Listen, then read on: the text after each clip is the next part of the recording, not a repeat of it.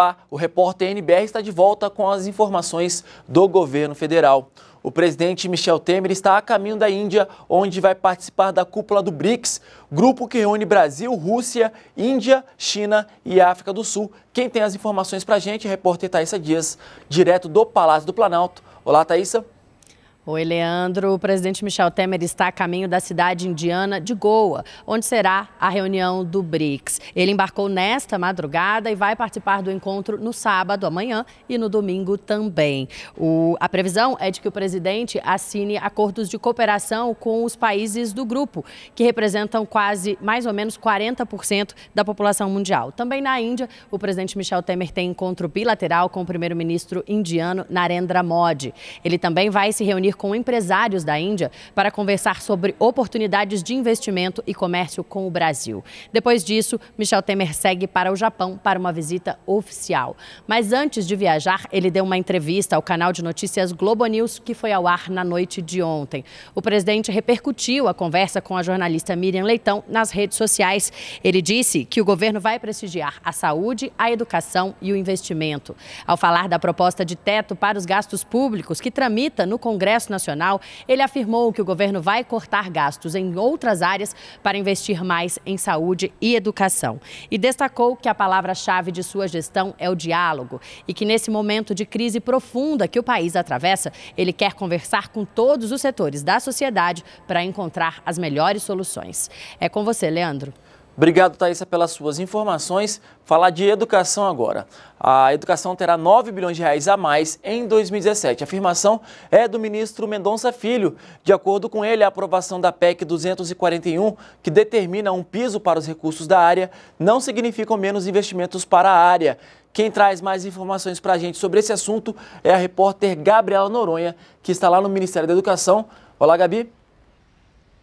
Oi, Leandro, é isso mesmo. O ministro da Educação, Mendonça Filho, afirmou que a pasta vai ter um aumento de orçamento de 7%. Isso equivale, como você disse, Leandro, a 9 bilhões de reais. Esse aumento, de acordo com o ministro, vai permitir aí uma ampliação ao acesso às creches, investimentos nos ensinos fundamental e médio e investimentos no ingresso ao ensino superior por meio de programas como o ProUni e o FIES. O ministro reforçou que a educação não terá prejuízos. Nós vamos ter ampliação de investimento para a área da educação, inclusive no próximo ano.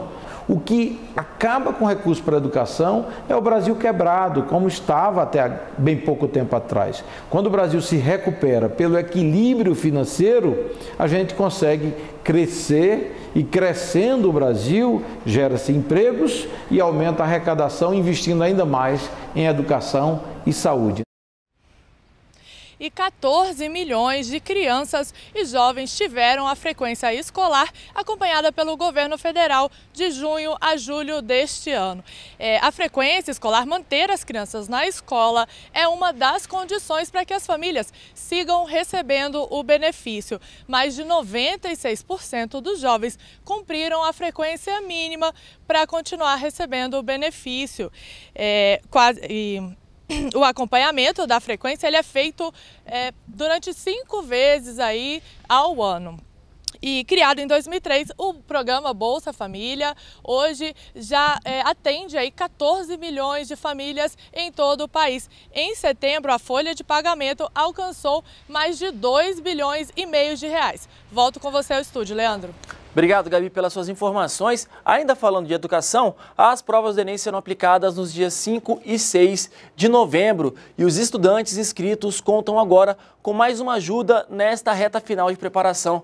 Veja na reportagem de Leonardo Meira. A redação é uma das etapas do Enem que preocupa muitos estudantes. Até tem bastante ideia na cabeça, mas o desafio é colocar tudo de forma clara no papel. Eu procuro ler muito, é, diversos artigos científicos, é, pesquisas, notícias e escrever também bastante durante a semana sobre diversos temas mesmo. É, você tem que desenvolver também algumas técnicas, é, por exemplo, colocar no próprio papel, você jogar no papel as ideias que você tem, aí na hora você vai organizando, você vai tentando encaixar no texto o que fica melhor em cada situação. Para deixar os estudantes mais bem preparados, o INEP lançou neste ano a cartilha do participante da redação do Enem. A ideia é tornar mais transparente a metodologia de avaliação e orientar os participantes.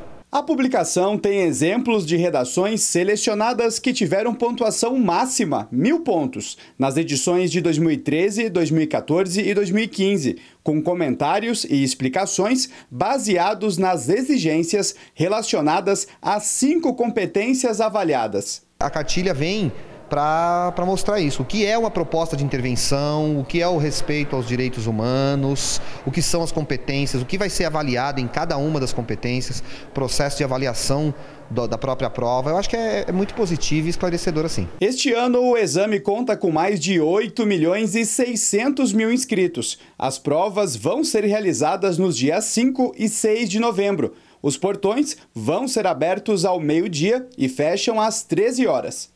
O Enem é a porta de entrada de milhões de brasileiros na educação superior, seja por meio do Sistema de Seleção Unificada, SISU, que seleciona estudantes para instituições públicas, seja pelo programa Universidade para Todos ProUni e também o financiamento estudantil FIES.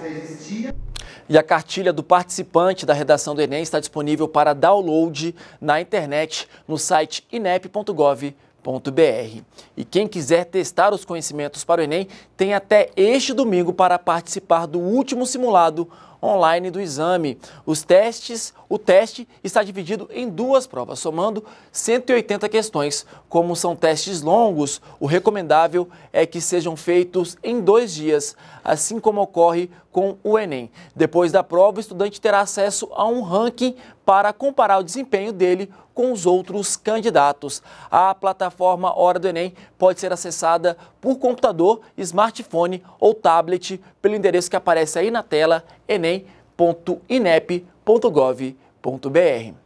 E nós ficamos por aqui. Voltamos a qualquer momento com outras informações ou às 11 da manhã na próxima edição do Repórter NBR. Acompanhe também as novidades em nossas redes sociais. Continue com a gente aqui na NBR, a TV do Governo Federal.